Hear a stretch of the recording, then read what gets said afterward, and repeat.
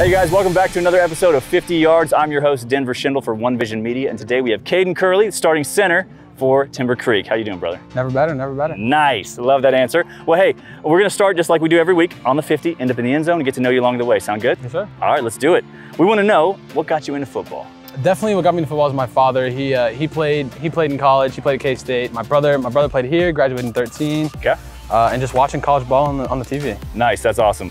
What is something that uh, you do to get yourself hyped before a game? Definitely feeding off these guys, my teammates. Uh, you know, dancing in the locker room, being goofy, doing whatever. But then you know you got to hit that point where you lock in, put the earbuds in, get ready for the game. Absolutely. We know Coach Williams talks about this a lot. Never better. What does that mean to you? Whatever we're doing, you know, we're never better doing that. Like we we could never be doing something better than what we're doing right now. Just Awesome. Now, what is something, maybe some fun you do with your teammates during practice? So we'll finish up our drill, one-on-ones, whatever, and then we'll go watch the uh, receivers do seven-on-seven, and you know we'll just chew into them for their whole time. It's great. That's awesome. Well, hey, we just crossed over the 20. We're officially in the red zone for some fast questions.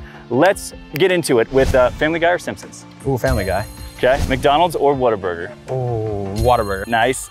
Uh, favorite TV series? Oh goodness. Um, uh, Walking Dead maybe. Okay, nice. Favorite restaurant? Mod Pizza. And then Superman or Batman? Batman. Okay, nice.